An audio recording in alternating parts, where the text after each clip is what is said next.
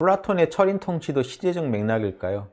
그게 플라톤이 플라톤이 철인 통치를 주장한 것은 소크라테스가 사형당했잖아요. 그 시점에서 진정한 이데아를 꿰뚫어 본 철인들이 정치를 하지 못하고 선동가들이 정치를 해가지고 철학자까지 철인까지 죽이는 그런 우매한 민중을 더 우매하게 막 이렇게 몰고 가면서 그 당시 상황이 그랬단 말이야.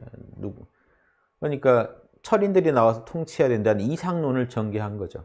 맞죠, 사실은. 거기서 말한 철인은 무슨 철학과 나온 분들이 아니에요. 이데아를 꿰뚫어 본 분이 철인입니다. 소크라테스, 플라톤 철학에서는 이데아를 꿰뚫어 본 사람이 철, 철인입니다. 그럼 저희도 다른 말을 할 수가 없어요. 양심의 진리가 이데아이기 때문에 양심의 진리를 꿰뚫어 본 철인들이 정치해야 됩니다. 이 소리가 제가 지금 보살이 요직에 가야 됩니다. 이게 플라톤의 철인 정치론이기 때문에 같은 겁니다.